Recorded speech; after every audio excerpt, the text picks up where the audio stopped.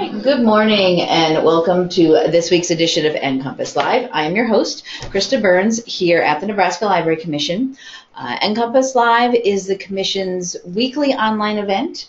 We are a webinar, a webcast, an online show. Um, as I say every week, the terminology is up for debate, and still nobody has come up with what they want to call these things. Um, there has been no consensus, so I just keep saying we're any, we're, we're whatever you want to call us, but we're here live online every Wednesday morning at 10 a.m. Central Time. Call us what you will. Um, mostly NCompass Live. um, the show is free and open to anyone to watch. Um, if you're not unable to join us here on Wednesday mornings, that's okay. We do record all of our shows, and I'll show you that at the end of this show um, where we have all our recordings going back all the way to the beginning. So um, if you're not here on Wednesday mornings, or if you see a topic you wanted to watch but you missed it and you want to watch it later, share it with friends, colleagues uh, in our archives, you can always watch the show um, whenever you like. Uh, we do collect any websites that anybody mentions during the show, so the URLs will be available for you there. If any, if they have presentations or handouts or documents related to their presentation, uh, we share, we put them on the uh, archive page as well. Uh, we do a mixture of things here, uh, book reviews, uh, interviews, mini training sessions, just presentations about new and interesting topics. Basically anything library related, we are happy to have it on the show. We do bring in guest speakers from outside the Library Commission sometimes, um, but we also do Nebraska Library Commission focused topics, um, and that's what we have this morning. Um, today is our NLC's Library Development Sampler, is what we've called it. Um, went back and forth on a few. It's a box of chocolates. It's yeah, hopefully it'll be good chocolates. That's the idea. Um, I am part of the Library Commission's Library Development Department, Library Development Services team now. Um, almost a year. Was it April? It was June, July. Um, Are you doing your talk now? Sure. Yeah. No, no. um, Should I wait? and uh, we decided, um, Richard, who's the head, and we're going to go through some um, introductions in just a sec here. Um, we decided um, lots of things have changed in the last year or so, or even a little more than that in library development. So it'd be a good idea to do an update on what's going on with us and our people um, in this particular department of the Nebraska Library Commission. Okay. So um, we're going to start with just doing um, introductions of who we are, and we're just going to do a uh, around the room here, starting with me. So I'm going to try and adjust the camera a bit. There you go. How's that? Yeah, looks good enough. Sally's our camera operator. yeah, at the moment, yeah. Um, so as I said, I am Christa Burns. My um, and I said I moved into library development last summer. I think officially it was July. I think that's Yeah. correct. Yes. as of July of last year, um, as the library development consultant is my new title, which um, is just as vague as my old title. Previously, I was in our technology and access services department as a special projects librarian. Um, before that, I was the OCLC member services coordinator. So things have changed for me as in my positions here. Um, as library development consultant, I'm doing another mishmash of things um, that we'll talk about um, today too. We're going to talk about all the different things we do here. Um, before I came to the Library Commission, I was um, I'm from New York. I am anyone who doesn't know that by now. I think most people hopefully heard me talk about it. You don't sound like it. Um, I'm from upstate New York. I should specify then. Um, no, you will not hear much of a New Yorker accent from me. um, I worked at a university um, library um, in New York for eight and a half years before I came here to the Library uh, Commission. So my background in actual library work is on the university, college and university side. Um, and that's something I'll be doing more of in library development, working, hopefully working more with um, uh, universities and colleges in, um, in Nebraska. Anything else I should say? I think that's I'll get fine. more into what I actually do in library development throughout the show. And next up is Holli. Go ahead, introduce yourself. Okay, so I'm Holli Duggan. I am the new continuing education coordinator, taking over from Laura Johnson, who retired. Um, I've been here a whole month now, and so Yes. I'm just getting my things figured out and I'm ready to tackle some of the big projects that we have planned. And so I'm just, um, I'm from North Platte originally. Uh, I went, I got my undergrad at Kearney, and I just started working at the library there. And then I worked at Love Library here in Lincoln. I worked at public library, Gere Library here, and most recently I came from Concordia in Seward as the distance librarian. Um, background kind of includes I got my library degree from Missouri. I have um, education and technology degrees, so I'm just really excited about the opportunity to be here and kind of tie everything together and work with all of you wonderful people. Hello, I'm Richard Miler. This is one thing that hasn't changed since the last time we did this. A little bit of background for those of you who don't know. I've been here at the Commission almost 20 years. Came from a short stint at Southeast Library System. I was there for 17 months. Before that, I was at Montana State Library, and before that, I was at Missouri State Library. So I mainly worked in state library agencies all along. And now the Commission, which is a state library agency, but is called the Commission, I'm here as well.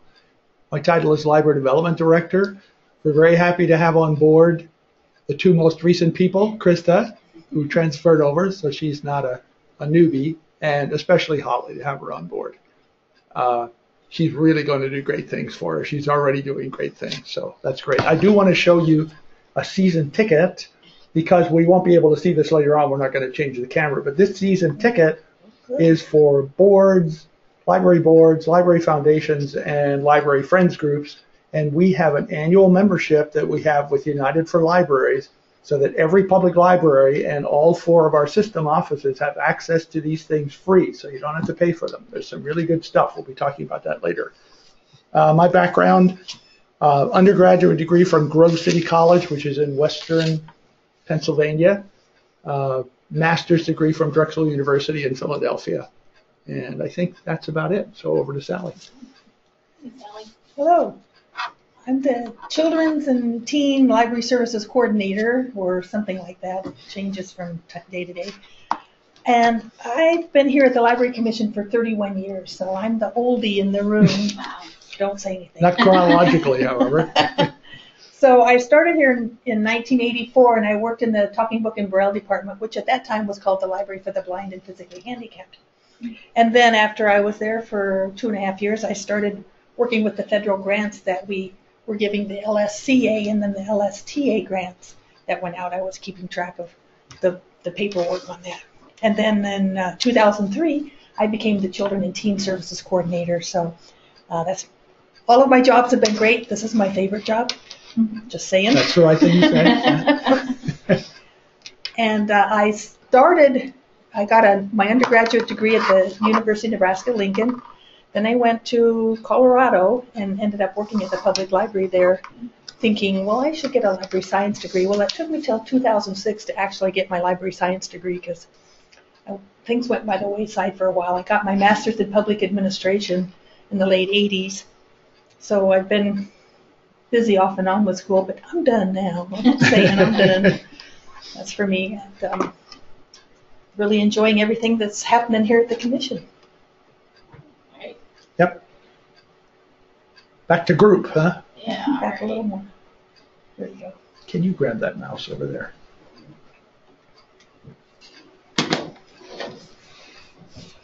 I'm going to start out talking, and we're going to move this mouse back and forth as each of us uh, talks with various things. The, the format we're going to use here is that we're going to show you, we figure this is kind of double duty, we're going to show you our website here at the Commission, which I'm sure many of you are already familiar with, but we want to talk about specific sections of that website. That's why we're going to be jumping back and forth.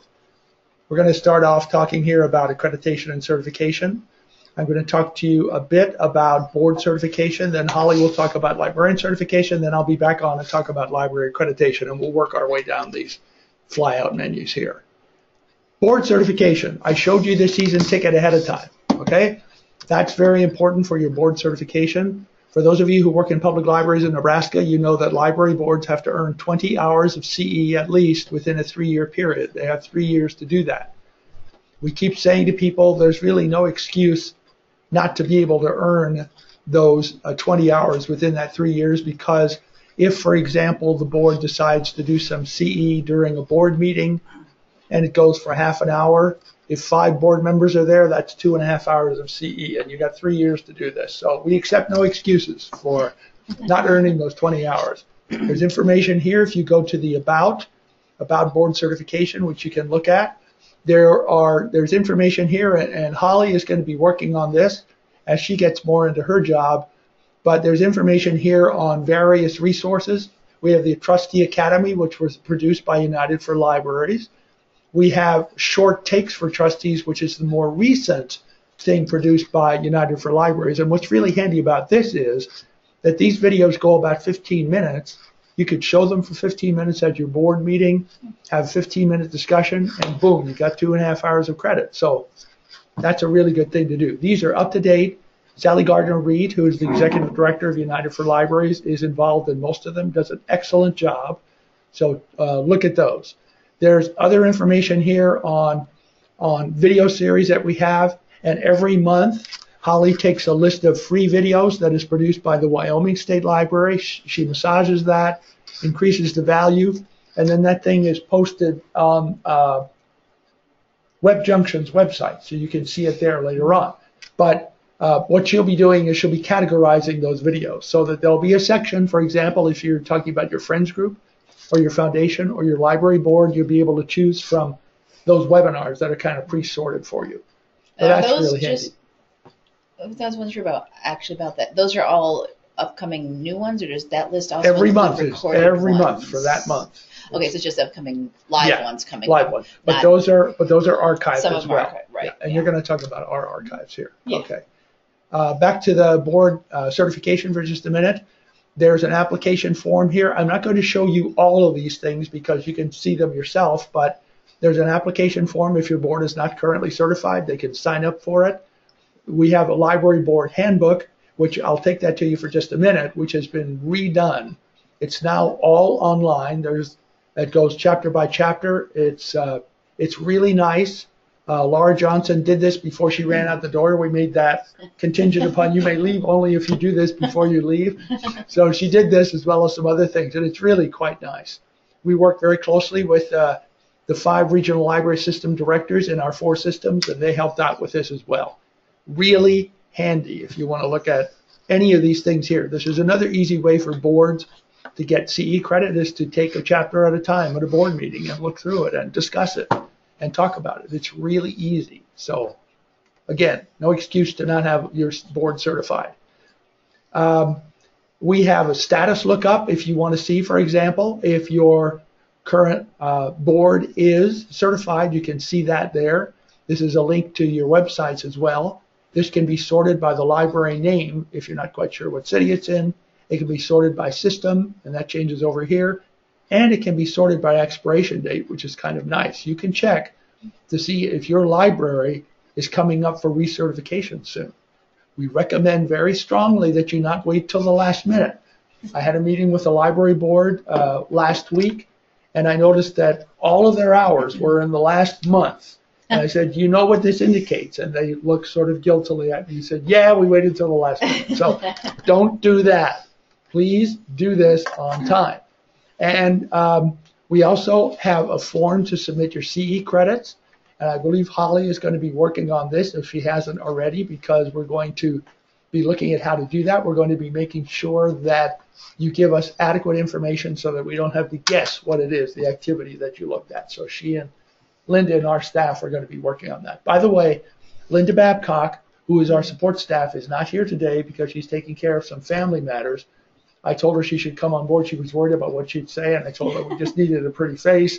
But she laughed, and she has to do those family things. But Linda Babcock is often your first contact with library development. Let's have Holli talk about librarian certification. I'll turn the mouse over to her. Okay. Oops. So Like Richard said, we've been working on updating some of these websites. So if you haven't checked them in a while, um, it's a good review. So this one, there's a lot going on with the certification program. So we'll just start at the beginning, just real quick and go through it. Um, if you want to or need to enroll in the program, you'll start with the application and just fill it out, submit it to us, and once we process it, you'll be enrolled. Um, and part of this application will ask you what level of certification you're at. And one of the updates, we tried to make this reference a little easier um, to go back to. So it, it really depends on your level of um, degrees or how much um, college credit you've earned so far, which level you're, at. And then you'll see that depending on what level you're at, you might have to take some of these basic skill classes, which I'll mention in a second.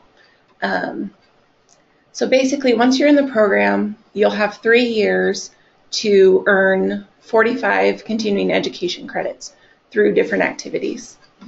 And the question might be, how do you earn those credits or what counts for credits? So you can either scroll to the bottom of this page or if you're just looking quickly for it, um, it's right here under this flyout menu, how to earn CE credits. And this is another one we've updated. So hopefully this is an easier reference um, to give you some guidelines of what counts for general CE activities if you take an academic course and how much those are, are usually worth. Um, and you can kind of see how do you know if it counts. It's usually um, if the event or the activity was created or planned with the intention of teaching or discussion of library topics um, in minimum 20 minutes long, but there are some exceptions. And if you go all the way to the bottom of this page, you can see um, what activities are not eligible. So some of the regular staff meetings, business meetings, um, the training of new employees, or the training on regular work activities, we really want the continuing education credits to be awarded for activities or events that really add to your knowledge and really expand on um, your abilities or your, your knowledge of librarianship. So that's why some of those don't count. But the most important thing is if you ever have questions on whether or not something you're doing or want to do will count for CE credit, just ask me, just contact me, and i am more than happy to talk about it with you. And here's your contact information. Yeah, my contact information right there. um, so that's just kind of general um, what counts for CE credits. And like I said, 45 credits for each three-year certification period. It really isn't bad if you spread it out. no, not at all. Like Richard said, don't wait until the last minute because it's really hard then. Yep. But so let's see. So if we go back to um, our about the public librarian certification page, and I mentioned the basic skills classes.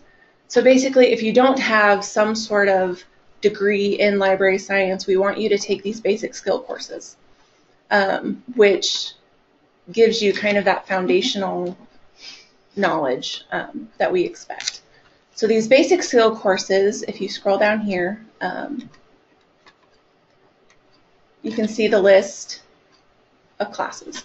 So these are online classes that we offer periodically. Um, they are all online, but they're not self-paced. So you don't need to attend or log in at a certain time, but there are instructors and classmates and assignments that you need to be aware of and complete the work during the course. So how this Usually two weeks. right? two weeks, yes, except for the organizational materials is four weeks. So it's not a hugely time-consuming class, but um, you'll take six of the required courses, and then you'll you'll choose seven. So whatever is most re- relevant or interesting to you, um, you'll pick seven, and you'll need to do that in the first three years that you're a part of the program. Um, so to register for those, you can either come down here, or I guess I can talk about the calendar real quick. Anytime you're on the Library Commission website, if you go to the top, the calendar is right here. If you click on that, you'll be able to see all of the Library Commission events and the system um, sponsored events as well.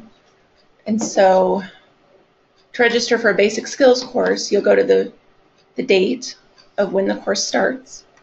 Click on it, you'll see the description of the course. Um, and this is true for all of the activities on the calendar. You'll see the description of the activity or the event, um, the dates, the contact information, and right here it'll tell you how many CE hours this is worth. And then to register for the basic skills, you just click register, fill out the form, and then a few days or a week before the class starts, I'll send out the information about how to log in and how to access the course online. And again, if you have any questions at all, just contact me. Um, and then the last thing I'll mention is just submitting CE credits, just like the board certification. Um, it's on this menu. Make sure you're under the librarian certification for your individual CE credits. You'll fill out this form, and like Richard said, we're, we're taking a look at this form to see if we can improve it, but for now, you'll fill it out, submit it, and then Linda Babcock will get your hours recorded for you. I think that's the basics of that. Good job. Okay. We do have an observation from someone, not a question. Um, Steve Fosselman out in Grand Island, I don't know if he's working on um, something in particular, this gives us a little insight. He, just an observation, he'll take any suggestions for classes on stress relief and retirement planning. So, I think we all could use some of that. I thought he was going to ask for one on stirring up trouble. How Yeah, about yeah, he's got that down. Yeah. You got that down pat? All right. Well, we're going to go to library accreditation now. And for those of you who have gone through the library accreditation process, this is probably a favorite part of our website. library accreditation.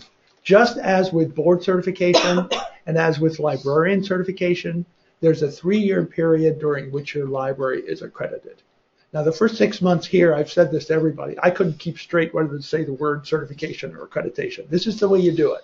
Only people are certifiable. That's a little joke. So only boards and only librarians are certifiable. When you talk about the library, that's accreditation.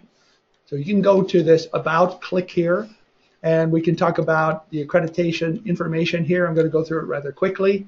Basically, the accreditation guidelines are set up such that they they hope and we hope to ensure some level of quality of public library services in our state. About 150 or so of our uh, 200 and how many do we have? 260 public libraries, somewhere around 264 public libraries are accredited and have gone through this. The process begins every year at July 1st. We contact the public libraries that are up for accreditation for the next three-year period and let them know that by October 1st they have to have done a few things. They have to have sent in the application form for accreditation and they have to have completed and have approved uh, a strategic plan, which we'll talk about that in just a minute as well. Um, so um, we'll talk about the application form itself in just a bit. You can preview that application here if you wish to. This isn't a live application, but if you click on it, you can see what the application form, come on, is going to look like here. Can I do this whole screen here? You want to, yeah. Let's do that. It's That's a little bit better. that, yeah, yeah. it's a little better. For a little bit about the application form itself, this is an interactive application form. Our computer team here, in particular, Vern Buis, did a wonderful job of taking the work of a task force that we had together about five years ago and redoing the whole application process. It's now online. Used to be kind of paper, uh, or you could opt for paper. Um, there are 12 of the guidelines of this whole document that in which we pull uh, statistics from your annual statistical survey that you send in to us that Sam Shaw works with. Those 12 guidelines compare your library with peer libraries, which is libraries of similar service size. And if you have met those one of those guidelines, there's going to be an automatic green check mark. If you have not, there's an automatic uh, X, red X in it. Uh, there are about 275 total points on this application form. You have to earn 250 or more to be at the gold level, and 200 for silver, 175 for bronze. There is a, a sheet attached to this. I'm not sure if it works on this one or not. It's an information sheet. No, not on this one. It's not live. Which, if there is something where we want to offer additional information for you, you can click on that uh, question mark and the yellow ball. It takes you right to the exact section of that information sheet which will help explain that. Anytime you see that, I recommend strongly that you look at it because there are probably three questions on this application form that I spend the most time on trying to answer uh, for libraries, whereas if they read this, I think they might understand it, or at least they'd have a better chance at it. The application form itself is broken into five sections. We're not going to go through it here, but uh, the one section I do want to show you that uh, is actually could add up the most points is this is this guideline 1.03. Your uh, library policies have to be up to date. That is, they have to be no older than three years old in order to be able to count them here. Now, this is self-reported, so we're not going out. We don't have policy police go out and check this. but when you do this, you have to be able to check off which of those have been reviewed or have been written within the last three years. Each one of those counts a point. So look at this one. You could earn up to 19 points on this thing if you have all 16 that we have listed here plus others. So that's a big deal. So right now, if your library is up for reaccreditation in this year, 2016, get cracking on your policies so you can earn those points. Um, when you get to the end of this application form, you will see that you won't see everything here, but you will see that we ask you to list the library name, the director's name, the director's email. This allows us to update stuff. Now on the live form, it will say you can save and do later, or you can submit it. So you have that option. Um, the reason that's good is because you can start working on this as soon after July 1st as we make it live, which should be right at July 1st. You can start working on this and save it and submit it later.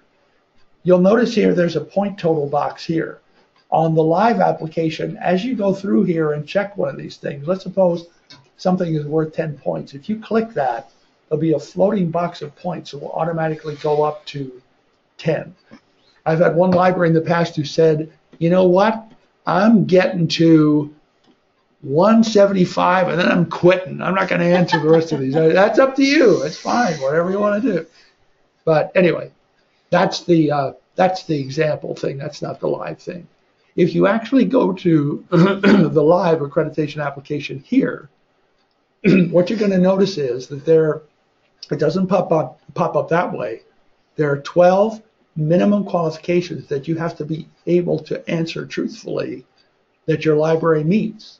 And the reason these are in here is because the, the task force decided that there are basic minimum qualifications that a library has to be able to meet before it can ever even apply for accreditation. These are the 12.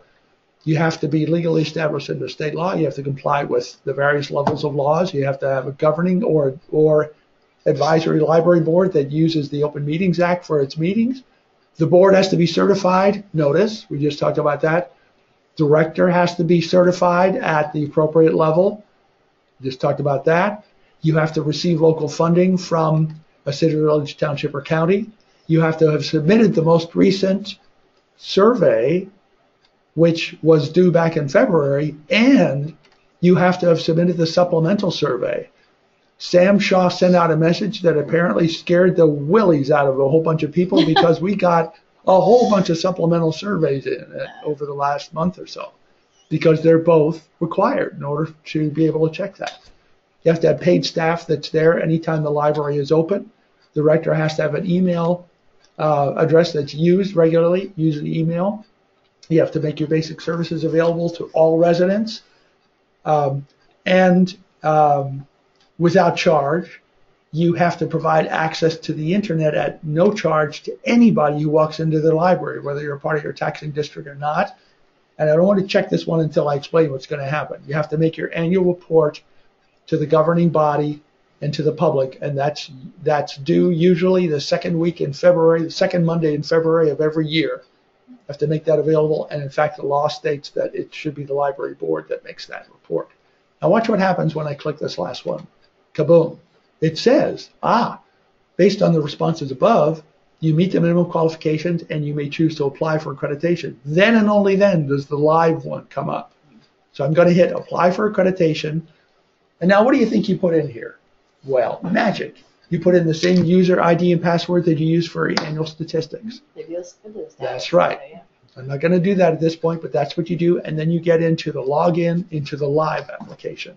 And when And you it get does have that, that password help thing there too. If you don't know what yours is, That's you right. just click that and it will tell you. that's right. you You get to up. that. You go to the form and figure it out. Now, the reason it's set up that way is because remember I told you that 12 of the guidelines are specific to your library. Um, that means that the statistics that are in there are only for your library. The application that comes up is only for your library. Your library pops up there. No other library has that. I want to talk for just a minute about uh, peer libraries. And what it will do is when you log in with your survey ID, it will automatically pull into your application anything it knows from your statist- your survey that you submitted. That is correct. So part of it gets automatically done for you. That's right. So that makes it a whole lot easier. Now on the live application, since we're not in the live application, there actually is a link up here for your peer libraries. I'll just explain peer libraries to you rather quickly, but not show it to you. On your live application, your library pops up, and there are anywhere from five to ten to more libraries above and below your service library population. Let's suppose your service population is 5,000. There are libraries above that are up to 15% higher, and there are libraries below that are uh, down to 15% lower than your service population. That means your library is right at the median. Now, we have a lot of libraries in our state that do not have enough peer libraries to show those. So what we are doing there is we're pulling in statistics from Iowa because we think we have a lot of libraries with 270 or so public libraries. They have 545 public libraries in Iowa. So there's a whole lot of peer libraries we can pull from. So we use their statistics for the year just as we use your statistics for the year for your peer libraries. All right, let's go back to this because I'm talking too long. If you need to see your status, you can figure out when your library is up for or what year your library's accreditation expires. You can arrange this list by library name, by system, or by year expires. What would be handy, really handy, if you don't want to go through the whole list, if you want to see if your library is up for accreditation this year, is you just scroll down here and all those libraries listed under 200, 2016, and there are 47 of them, are going to get an email from me on July 1, and it's going to say, get cracking. Only nicer. Oh, yes, nice, of course. We always try to be, yes, thank you, Sally, nicer. Sally keeps us nice here. Nebraska nice, yes. Um, but start working on your on your strategic plan now, and start working on uh, some of these other things now. Let's go back here because I have to talk to you about strategic planning, and I'm going to do this rather quickly. I told you that a strategic plan is required for library accreditation. There's information here on the seven elements that are required in strategic plans. There's a video I'm going to suggest you look at first and foremost before you do anything else. We have example strategic plans. We have uh, sample community questions to use when you uh, try to find out what the community needs are. And we've got all kinds of worksheets and how-to guides down here. Your regional system administrator or administrators are key to this whole thing. Every year, we do strategic planning workshops within your region, sometimes more than one. Often your, your system director will review your strategic plan before you send it to me. I'm the guy who has to say whether it's approved or not. I'll send recommendations to you if changes need to be made. So will your system. So will your system directors. I couldn't say that quite right. Yes, but look at this video here first. It goes about a, an hour and 12 minutes or so. It'll give you uh, strategic planning ideas in a nutshell. When we do the strategic planning workshops, they go three and a half hours or three hours, depending on how short the system director wants to keep them. This is a shorthand Reader's Digest version of it. Take a look at it. That'll give you some idea of what's in mind for your strategic plan. All right, let's move on because we're taking too long. I'm taking too long. We're going to go to children's and young adult, and Sally's going to take over.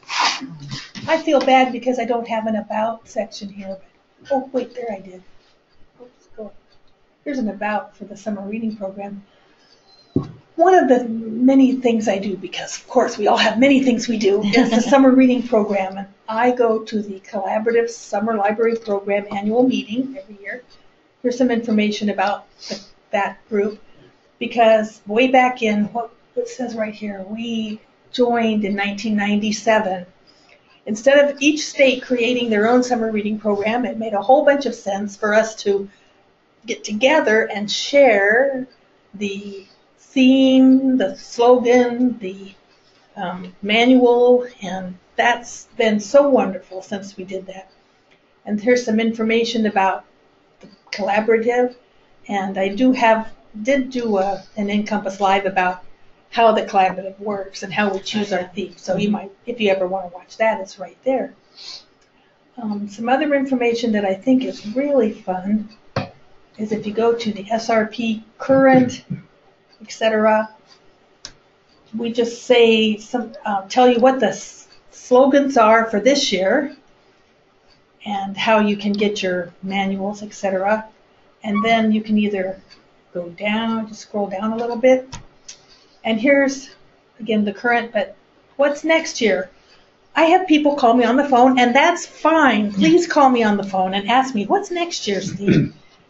if if you want to, you can look here and see what the topic is. They call it topic, or because theme got confusing. And the slogan for the first time next year, each level of the manual will have the same slogan: Good "Build a better world." Good which is really exciting. and then, if you want to know what year did we do the bug theme, which is uh, catch the reading bug, now you know, oh, that was 2008. Because sometimes things haunt you, you know. Well, I remember we did bugs. When was that? Well, right here you can look down and find it. So that's kind of fun. So there's a, a pretty good amount of information about the summer reading program on, on this page. Um, I'm also going to go to um, some general topics about books and reading. The Golden Sower Award, I have to fix that link. Something, it's been everything's been changing, and I slipped and didn't update that. So that's my Well, some of the, I'm not sure, Golden Sower is related to NLA, Nebraska Library Association, and they are, I believe, still in transition and getting the new website for NLA working with a lot of the subpages for different groups. And I know, last I looked, the Sower one was partially has information, but not all. Yes. Like, there's a, a- a current stuff is there, but anything old is not. So it, it, there'll be more. To clarify, the Golden Sower Award Committee is a committee of the School Children's and Young People's section of NLA, because I had a couple people talking the other day about it being separate all by itself. No, no, no, no, no. Just saying. Yes, they operate great on their own with very limited supervision, but they are a committee of the School Children and Young People's SCYP section, but this is my mistake for not updating that. This afternoon, we're going, uh, Janet and I are going to update the one book for Nebraska kids and teens. We had a year off last year in 2015, and we do have books for this year, and we're going to be getting some activities, the books and everything up there uh, this afternoon, and then we'll be working on activities. My youth advisory board is um, going to be working on that, so that will be up soon. And then um, Read Aloud Nebraska, I am one of the board members of Read Aloud Nebraska, which is a nonprofit group that's all about encouraging people to read aloud to their children. And I just recently read an article about how it's more important to use the print book. There's something about the interaction with the child and the parent or adult with the print book than using a digital device. I don't know why I have to find the the um, study that, that talked about that, but I had to throw that in there. So right now, you can apply to be a Read Aloud school or community. That started April 1st, and um, will finish, think, in early, maybe November 1st. Hey, let's find out if it tells us that. And if you are a read, if you, it's just a form to fill out. It doesn't cost you anything. We ask you to uh, apply every year so that you're keeping active. And then later on, you can have some benefits, again, free to you, for um, having applied to be a Read Aloud school or community. And community can be anything. It can be a public library. It can be a particular group that's supporting reading aloud. So it's very vague on purpose. Okay, so we'll go back here. Some of the other things I'll talk about, I have a youth advisory board, like I said. And they help me with the one book for Nebraska kids and teens. And also, when I come up with a question, somebody says, "Sh- is this a good idea or a bad idea? I can run it by my youth advisory board and see what they think because they are children librarians and teen librarians across the state. So they're not the youth themselves, but the librarians that serve the youth. Sometimes that's confusing. We, I do have some information on some other things over here. Um, the Children's Internet Protection Act, which, you know, I'm going to have to look at that again and see if that's changed now because, You can consult Things with have been- Christa on that one. yes, I think I'm, I need to talk with Christa about that one. The what? Oh, Oh, Yeah. CIPA. CIPA. or CIPA, however. And there are, um, I'm thinking there's some things I need to add to this too, but we'll get on that later. This is just a real general overview of things that are being done. Another thing that I do want to p- point out that is not on the flyout menu, but all you have to do is type in the word handouts and click over here. Handouts. The first thing that comes up is Nebraska Library Commission handouts. When I first proposed this page, I said, you know, anybody can use this. If you're doing handouts for a presentation, you want to pop them out. It makes sense to put the handouts with the NCompass Live show. That makes perfect sense. for those particular Yeah, events, it yeah. To that. So far, I'm the only one using this. And, you know, I, I'll hog it if that's, but- And when you do do an NCompass Live, we do link to this page. That's true. Yes. That's so true. this is where you'll end up if you watch any of of Sally's shows. So this is um, a list of handouts that I've created for different presentations, and we try to, we just go in chronological order when they come up. So we have the, the last fall's NLA and SLA conference, here's the handouts. So you can get either the, the list of the books, just the straight list, so that's not as many pages, or you can get, whoops, you can get the list of books with my blurbs in there. So then, then if you really want, what did Sally have to say about this? There it all is. And of course, that takes more pages, so if you're printing it off, it might be problematic. There are also, I, we just added this, um, this one because I do have the summer reading list that I had at conference. But when I was working, doing this with the, um, system administrators and system directors and their workshops. It says November 2015. That was the first workshop. The last workshop was just last month, and I didn't update the date, so that's my bad. But then as you look at this, you'll see a check mark here at the side. That means that book was added after the conference list, and it says that at the bottom of the Okay. handout. But then you know, there's everything that was on the conference handout is still in here. I've just added more titles. So that can be helpful and um, and some other different kinds of things like the our uh, read, read aloud Nebraska fall workshop. I did some handouts for that, so this one has um, the blurbs right in there, and that might be handy if you have a particular need. So if someone in the future, if someone decides they want to put their handouts here too, I'll be fine with that. We'll just kind of say Sally Snyder or someone else, and then you'll click on Sally, and there will be my list. And I've had a couple people ask, should we take some of these off of here? When I've asked my youth advisory board or at a workshop, everybody says, no, don't take anything off. There's Because- still useful lists of good books. If Yes, they someone's looking for Now, something on a particular topic. This yeah. is from 2008. This is back when I had the whole list, picture books through teen lists all together. You can't talk about that in an hour. But um, so in the future, you know, maybe we'll take. They'll they won't be lost forever. They just won't be on this list. They'll be kind of Archived archived. That's a good. word. All right, So thank you. very good. Let's go back to the flyout menus and see what we want to do next. Let's see. Do we want to do anything in education and training? You want to talk about basic skills? Um, I did this. before already. Is that Yeah. covered that uh, sufficiently? The only thing I would mention is um, the webinar list, if you want to click on that real quick. Okay. Free webinars. Where is Oh, right there. it? There. Thank you. Okay. Um, so this is that first link, April 2016. That's the monthly webinar list that I send out in emails. Um, Sure. Go no, ahead take that that, okay, sorry. But you did. This one I meant. Yeah. Um, this is the monthly list that gets sent out on emails, and it comes from the OCL WebJunction. Um, and then we have our archive list of the last two years, and this is the page that we're looking at redoing to see if um, maybe there's an easier way to divide it up by subject, so that way the archives are a little easier to access. Um, so once we do that, I'll send out updates, but um, just be aware that this page might change a little bit. And then um, back to the education, we are also looking at these Skillsoft courses.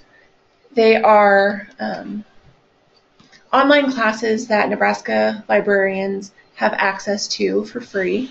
Um, they are self-paced online courses. A lot of them are technology, um, Word, Excel, and there are some communication and leadership ones also. But we're looking at whether or not we want to continue this. So if you've accessed or completed any of these courses and have feedback, I would love to hear from you um, as we try to determine where we want to go with this. So, What we seem to have found with those courses is we have a lot of people who sign up but don't Mhm. finish the courses. So we really need people who have Yeah. Done that, that sort of thing. We're glad Holli's looking at that. Okay. All right. Let's go down here to grants, funding, and E-rate, and let's have Christa talk about E-rate. You want the Oh, mouse? Sure, yeah, I can do that first. Um, yes, one of the big things I do here, probably half my job at the moment, is E-rate.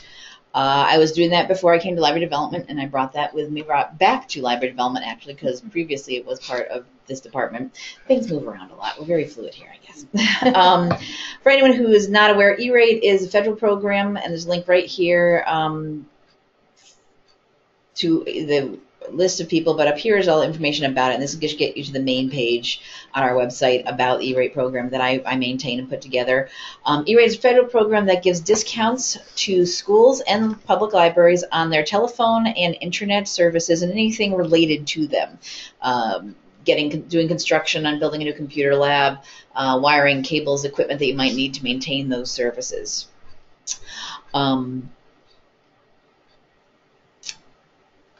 they, as I said, they do telephone and internet at the moment. Phone is being gradually phased out of the E-rate program, however. So if you are involved in it and wanting to do it, that is something that will be it won't be available um, in a few years. They're they're switching. The FCC is the is the uh, federal organization um, that federal department that is in charge of E-rate and has determined that they want to focus on internet, increasing internet use at schools and libraries, um, better use, faster speed, um, fiber connections, higher broadband, better Wi-Fi, basically anything internet related. So all the funding is being gradually switched over to anything to strictly just internet service related. Funding and support. Yeah. Um, so on this website, though, I, I do training. I um, keep everything up to date here as much as I can to give you information about how to do it. It's a, it's a, uh, a program that has multiple forms you submit throughout the year to keep up with the program. Just last Friday was the deadline for the first form in the E-rate process for the upcoming funding year. Uh, E-rate funding year runs from July through June of every year, so you get discount for that, and you're always um, applying for it each year. So that first form, the deadline was Friday. People are now working on their second form um, in the process. Uh, we have information here, flowchart, timelines for everything. I do do training in the fall when the pro- process can start, and I do in-person training around the state, and I do an online training, which I then record and is posted onto the website as well, so you can go here and watch my two-hour session. You don't have to watch the whole thing for sitting two hours if you want to, if you don't want to. Um, on the YouTube that I posted, uh, on the video that I post up to YouTube, I do break it up into different sections, so you can jump ahead to particular section. So if you're just working on the second form, you can say just jump to the stuff about the second form. So you can you know watch it in little um, bits and pieces. Uh, I do have um, links to all the different forms here. What, um, help tools, guides, uh, instructions on how to use them is all on here. Uh, information about CIPA, Children's Internet Protection Act. Um, is in here, so if you want to learn more about that, this is the place to go. Um, in order to apply and receive E-rate funding, you do have to be in compliance with CIPA. That is, in, that is when we talk about filtering in libraries, filtering your internet connection. Um, if you have questions about that, you can go here, or you can ask me, and I can help you out a little bit with that. But only for internet, not for telephone. Right, only for internet, not for telephone. Um, telephone, you don't filter your telephone, so that doesn't apply. Sometimes you like to filter your telephone. Yeah, but- Um, And then we also do have a list of all of our recipients going back to the first year that E-rate was available, which is in um, 98. It started in, it was officially, the act went in um, to a, was written for uh, creating E-rate in 96. So your first year you could apply was in 97, and so we have our first year of recipients in 1998. So if you're interested in who's gotten it in Nebraska, this is specific to just Nebraska funding recipients. You can look here and see um, who's received it, how much they've gotten, and what kind of service it was for. This is all public information, so that's why we also just pull it out and post it on here for people. So if you're curious about that. So if you are a public library now, as I said, it's for schools and libraries. I only do support and training and instruction for our public libraries in the state. Um, other states do it differently. Um, they have different people in charge. Here in Nebraska, for our schools, so if you are at a school, uh, the Department of Education handles it for them. So Sue Ann Witt and Jim Copley are over there, um, mainly Sue Ann. Um, that's who, if you are at a school, you would contact her for support and instruction. There's very similar the way they apply, but there are some things specific to schools that aren't for libraries, so I don't know as much about it. I wouldn't feel as comfortable giving advice to a school. Um, so I handle public libraries, and she handles the schools. So if you are a public library doing E-rate, contact me. That's what I'm here for. I can help you get through anything, hold your hands, look at your forms, get you up to speed. If you've never done it before and you're interested, definitely contact me. As I said, the first form for the upcoming year is already, the deadline is passed, so you can't jump on it now for the, this next year. But for the year after that, it's an every year thing that you can apply for. So um, if you didn't get it this year, you just wait and do it next year. Talk about not Richard. Not Richard. Oh. um, for some people may have known Richard before I was involved in E-rate, which I started doing it in 2009, being the E-rate coordinator here. Um, Richard was doing his best to keep up with it. Previous staff people had left and didn't hire new people to officially do it. And when I came on, he was my backup. But as of now, or within like the last month, he's no longer my backup for E-rate. It's So- epic. it's it's there's this whole yeah it's it's things have changed a lot and he's with strategic planning and and accreditation things just other things that needs to focus on um, and also the program's changing I don't really need a backup necessarily so um, Richard is no longer backup he doesn't keep up with the program which is fine so any E-rate things it just goes to me um, so don't if you ask him he'll just say thanks I can't, sorry. But they do have their own customer support te- team as, as well. So if I'm not available, you can always go directly to them for help. My official Um, public thanks to Christa. so um, there's this new, the newest thing that they're doing, the E-rate is this E-rate productivity center. All forms are now done online. There's no longer any paper forms that you have to print out and mail in and maintain or everything. It's all done in this new portal where everything is kept in one place for you. Your profile, your information, your forms, um, notifications from the from their E-rate people. So um, that's a whole new interface. It's very cool. It's very slick. It works very well. It does have some issues still. It's it's it's a work in progress, but people are using it now. Um, and that's really it for E-rate. Okay. Um, jumping quickly through that, yeah. What do you want to go to next Sure. here? Um, I just want to let people know we are getting close to 11 o'clock, and uh, um, officially, if you look at our schedule, it does say that NCompass Live runs from 10 to 11 a.m. But um, we will um, continue going with our show as we do every week. If it runs long, that's no problem. We'll just keep going and recording until we're done getting through all of our stuff here. Um, if you need to leave, that's fine. You can always come back and watch the recording later. Um, but we will not be cut off right at 11 or anything. We're going to talk to you about several different grants, library improvement grants, youth grants for excellence, and perhaps uh, Holli wants to talk just briefly about continuing education grants, but let's start with Sally with youth grants for excellence. If we go to the, I know, if we go to the about, down at the bottom, I have to show off because. Yeah, because you I did your, updated because you my did data. your part. Well, Okay, mine all right. comes first, and I'm gonna start getting questions pretty soon, so I want you Oh, to know. Oh your deadline is coming up Yeah. quickly. Yeah. No, I, I mean, mine's the first one. I mean, August 19 is when the application form will become available for people to start filling it out. And just an FYI, with my, with the youth grants application form, um, write your narrative in another document, a Word or word processing document till you get it right. And then copy and paste it into the form because if you start it and then you have to leave, everything is gone. Just so you know that. Anyway, so it comes available August 19, due October 5th, and Recipients will, will be announced by November 16. Once in a while, we actually get it done early, but I have a committee that helps me look at the applications and determine who's going to be the recipients that year. And so it takes time to read the applications and do our worksheets and then get together. So let's see what happens if I click here. Woohoo! Okay, so this is my about page, so to speak, about the youth grants. And the reason it's red at the top is so you don't go filling out the form when it's not available. I mean, it's available, but you shouldn't be filling it out yet. And this will change on August 19. It'll be great. So there's a whole bunch of information, and I'm going to try and, and follow in Holli's footsteps and be more concise about. I, I still want this information there, but I think I ramble on a little too much. it's possible. I, I haven't asked Holly to look at it yet. Um, but there's so there's some some information here. One of which here I want to point out is that the all workstations or other stations like that of other companies were allowed last year for the last time. So as you're looking at things that you want to do, those will no longer be eligible for a grant.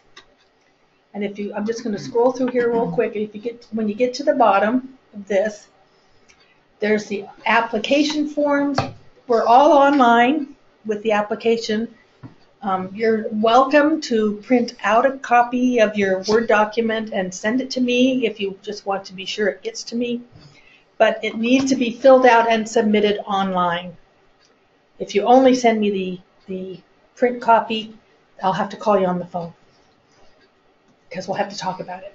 So um, this is the basic information that you need.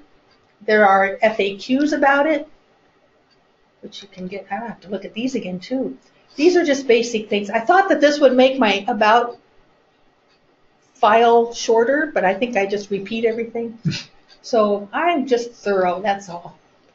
And of course, there are other grants from us. Uh, the youth grants, I've had $25,000 each year to give away lately, and hopefully that will be the same amount for this late summer and early fall. And she usually overspends it, but Well, sometimes I get special permission, but not special always. permission from Rod, yes. I'm going to talk briefly about the library improvement grants. Now, Sally's grants that she was talking about, the youth grants for excellence, are from state general fund money. The library improvement grants are from, uh, I didn't want that to happen, are from federal money. So let's see, I have to go elsewhere for that. There you go. No, that takes us to the, it doesn't take me where I want to go. Over here I want to go. Oh. Library. I don't understand why that one isn't going there. It did when I looked at it earlier. Do you see library improvement grants over here? No. Let's look here. Let's go back to what that's a good Sally was idea. talking about. Here they are. There you go. I hope this doesn't take me where it was. The library improvement grants for this past year are already finished. As you can see, the grant recipients were announced by February of this year. And uh, to build on something Sally just said, uh, we were not going to allow the all workstations to be eligible for these grants this year, but there was nothing in writing that said they couldn't do that. So since we had three or four libraries that asked for them, we switch gears, and now in our grant applications for library improvement grants for the upcoming year, it will say the same thing that you do about the all workstation. So we did make some grants.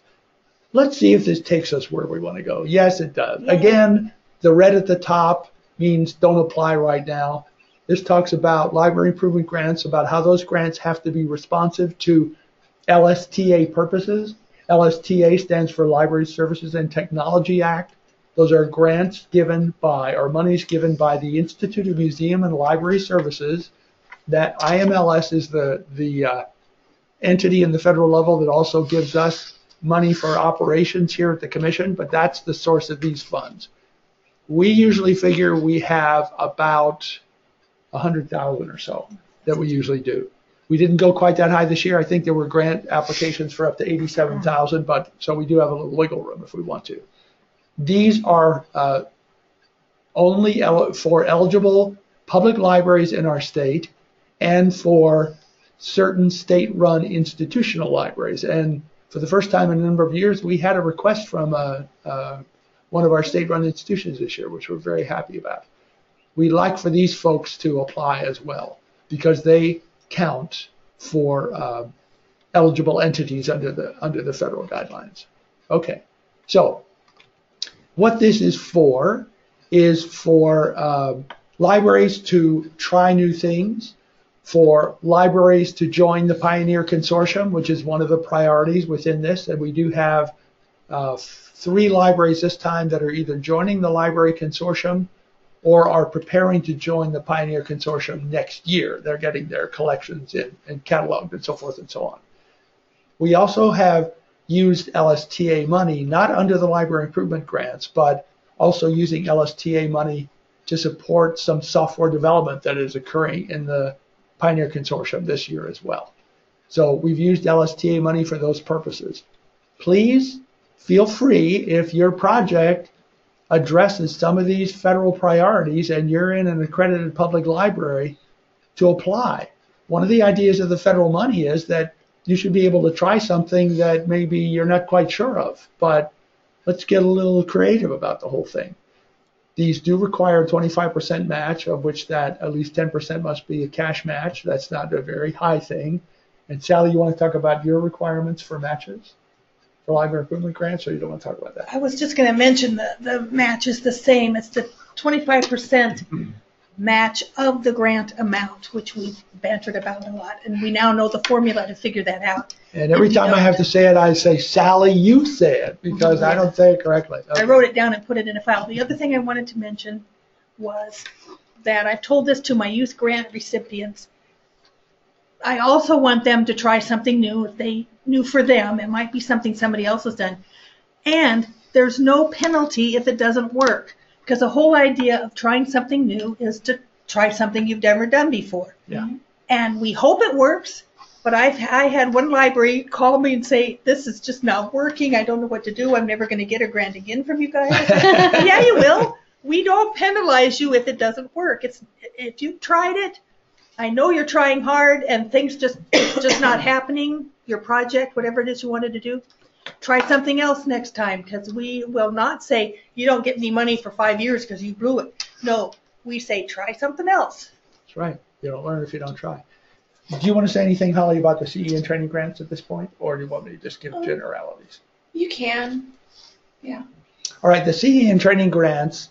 Uh, Holli, as she says, has been here for a month. She'll be looking at the CE and training grants to see if we're going to make any changes in these at all. Over the last several years, what we have done with the CE and training grants is, is that we have looked at upcoming regional or national conferences and then decided to, let's say, this year we're going to emphasize or focus on, let's say, the Public Library Association conference coming up or some other uh, conference like that. We may or we may not do that in the future. Holli is going to be looking at that, so we won't say anything more about that at this point. Sound good? All right. Let's go down to library management for just a minute. I want to mention just a couple things on that page. Under legal, uh, we do have information here about the Nebraska library laws, and we do have the Open Meetings Act. Uh, if you have questions about either the Nebraska library laws or the Open Meetings Act, you may contact me. I will not give you legal advice. However, I've been told to say this. However, I will give you opinions of someone who's worked with these for a long time. But I will tell you, talk to an attorney if you do need legal advice, because you don't want to count on me for legal advice. And if it sounds like I'm practicing law without a license, just hit me with a club and I'll stop. All right. Um, I don't think we'll do any more on that page. I do want to go down to show you under library organizations that you'll notice over here that the systems are listed. About two months ago, we actually added a flyout menu for the regional library system, something they've been asking for for a long time. The regional library systems are so key to what we do here in everything that we do in library development and actually everything that we do at the commission. In fact, if you ever want to look at a copy of the contract we have with these systems, it lays out about 13 different tasks. And the last one of those is what I call the elastic clause, which basically says you'll help us do whatever we need to do in the state because we have to have these regional library systems as partners. This is the quote new configuration unquote. As you know, we used to have six regional library systems. We have the set amount of money we have for the regional library systems every year is about six hundred thousand dollars. It's not going to change. We're not getting any new federal money. We're probably not getting any new state money. We can always wish, but I think that's wish fulfillment is a waste of time. So uh, the reason we had a task force work on this, and they made a recommendation to our commission, which are which is our governing body, our commissioners, to either change from six systems to five or six systems to four. The task force itself was split right down the middle as to whether it should be five or four. They heard and looked at the arguments for both, and they chose four. That was my own personal favorite because I think if we did five in about five years, we'd be back where we are now. So each of the library systems has a system director or directors.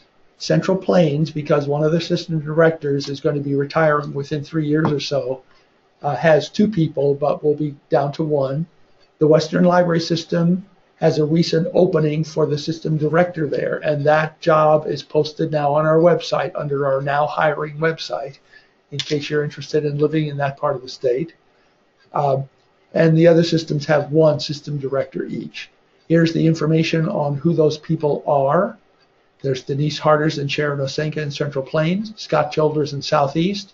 Western Library System is vacant currently, and Anika Ramirez in Three Rivers Library System. So that's information on them. You can see, you can get a link to their archives, a link to their uh, newsletters, and so forth.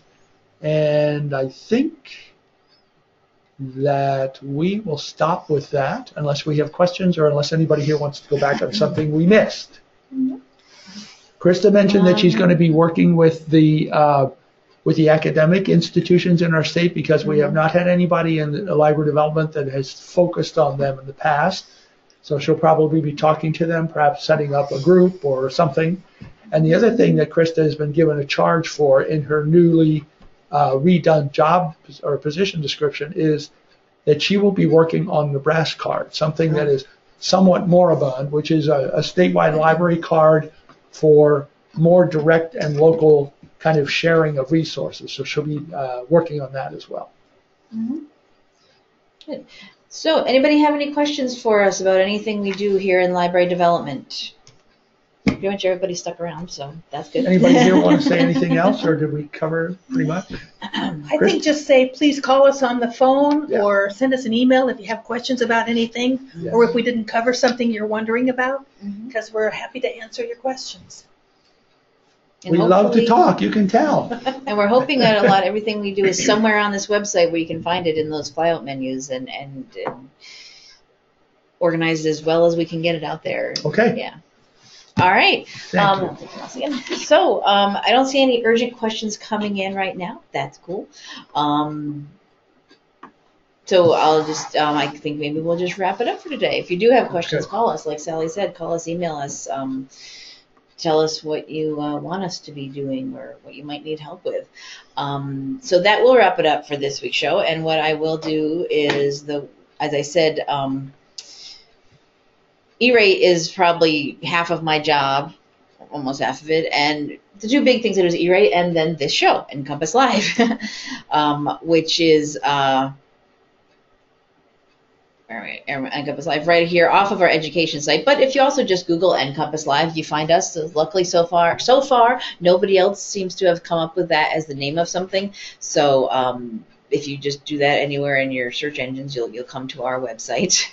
Um, so that wraps up for today's show. We um, did record, as I said, and all of our recordings are right here underneath our upcoming shows, which coming up in the next couple of weeks. We have our archives where we post, um, as I said, all of our shows here going back to the very beginning. We started NCompass Live in January 2009. So um, we have all of our shows going back all the way. Um, every week of the year we do it, except for the week of our state library um, annual conference, or NLA and SLA online com- a library conference. That's one week we take off, um, unless there's you know technical issues or something on the you know, sudden things that we can't do it for. But generally we're here. So 51 days of the year, 51 weeks of the year we are here. Um, our recordings will have. Let's see, this is last week's. Yeah, um, a link to the recording, as I said, on our YouTube channel. If there is any slides or PowerPoints, we link to put them on our SlideShare account, or we link to wherever anybody else has them. And we use Delicious to collect websites. Um, for any of these. So all of that information will be there for um, recordings. For this one, we'll probably just have a, a link to recording because we didn't do slides for today. We didn't need to. We just used our website as our guide. Um, so we'll probably just have the recording up there for today. So that should be available sometime later this afternoon if I get my things up to speed and get it all processed and YouTube does things nicely for me. um, next week, our topic will be innovation on a shoestring, free and cheap tools, and I'll be back. Well, I'm here every week, but I'm actually presenting again next week um, along with Louise Alcorn, who is a colleague of mine um, next door to us in Iowa. And with this presentation we do of some new and interesting tools that you can use um, in your library. It covers all sorts of different topics. Um, so we'll just do some showing some really innovative things that you can do with um, free free resources online um, for doing things that have to do with running your library or just your personal um, you, your personal life, your own professional development. So um, uh, join us next week for that show and any of our other upcoming shows we have here on the schedule. We've got all our April shows booked. I'm working on getting more May shows booked, so this gets updated as we go. Also, if you are a big Facebook user, please do go over and like us on Facebook. NCompass Live is a Facebook page. And there it goes, finally. And um, we post. Whoop. Oh, hey, that's new. Facebook is prompting you to, me to log in because I'm not actually logged in. Um, I post reminders of when a show's starting, and this actually did it cor- incorrectly. I did the description for today, but it had the wrong title. But um, I'll give reminders of when the shows are, are starting up. Uh, people can log in on the fly. When the recording is available, I post. Here's last week's I announced when it, the recording was available. So if you are big on Facebook, do go uh, go ahead and go over there and like us, and you'll be notified of when we are um, doing things on the show. Other than that, anybody have any last minute urgent things they want to say? We just have some thank yous coming in from the crowd. So that will wrap it up for this week's edition of NCompass Live. Thank you very much, and we'll see you next week. Bye bye. Bye. Bye.